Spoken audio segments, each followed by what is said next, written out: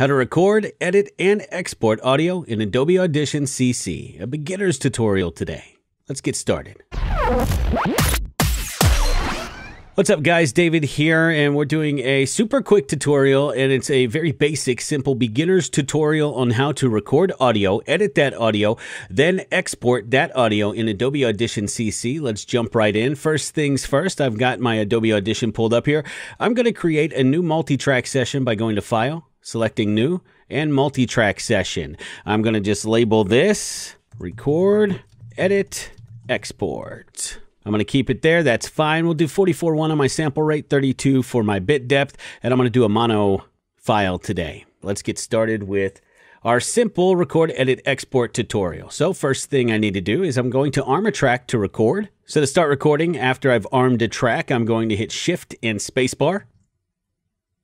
So as you can see, it's picking up my dialogue. Anything I say is going to be picked up nice and clean in Adobe Audition through the multi-track setting that I have established on track number one.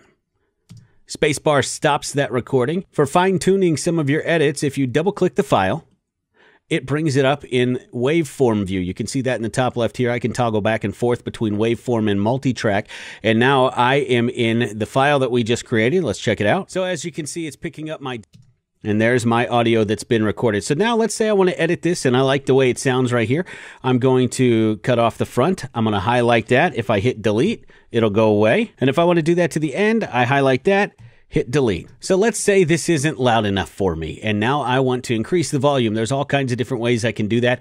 Uh, the easiest way, the quickest way, is usually this icon right here. This is just an overall volume meter, and I can drag it to the left, it'll go down. If I drag it to the right, it'll go up. Or if you'd like, I can click in that box right there, and I can put in two, and it'll raise it by two decibels. I can put in negative nine, and it will lower it by nine decibels. I can just also grab this little dial pull it up to what I want it to be here.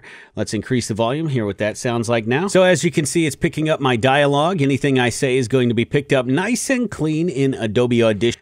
So it's picked up pretty well here, and I can hit spacebar to make that play. Through the multi spacebar plays back. So now I've got my file recorded. I've got it edited. I clipped off the front and the end of what I want to use here. I can do finer editing too. I can highlight some of this stuff and delete it the same way. Now this is my final project. I can right click this Go to Insert into Multitrack. Record, Edit, Export is where I want to go. That's my multi-track session I've created.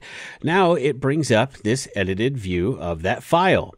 There's the original one. I can just click that, delete that file, and here is my complete edited piece of audio. It's picking up my dialogue. Anything I say is going to be through the multi-track setting. It's got our cut in there and it's got the volume added in there. So everything is working nicely. So now let me export this. There's a few ways to do this. One, I can highlight through here, right click. Don't even have to select the whole thing. Go to export mixdown. I can click selected clips. That'll bring up my export window.